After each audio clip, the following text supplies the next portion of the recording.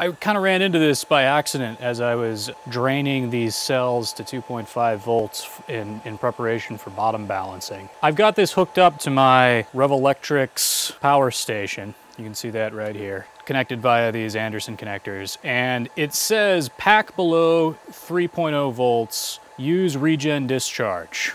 So apparently when you're running off of the uh, Revolectrix power station or a DC power supply, you can't drain the pack below three volts.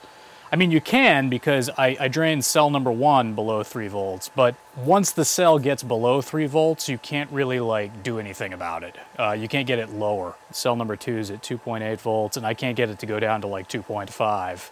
So what I'm gonna try is I'm gonna try switching this over to regen discharge and we'll see what happens. Uh, let's see.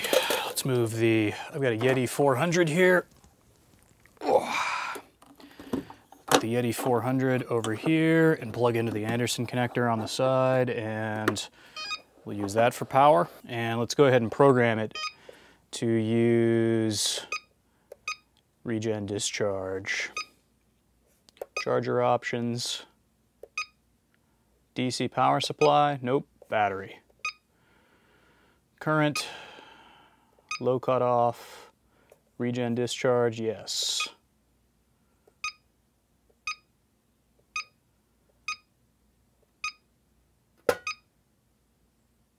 Okay, let's see if we can do the discharge now.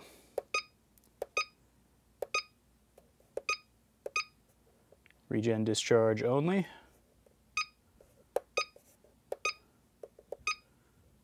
Checking pack, LiPo.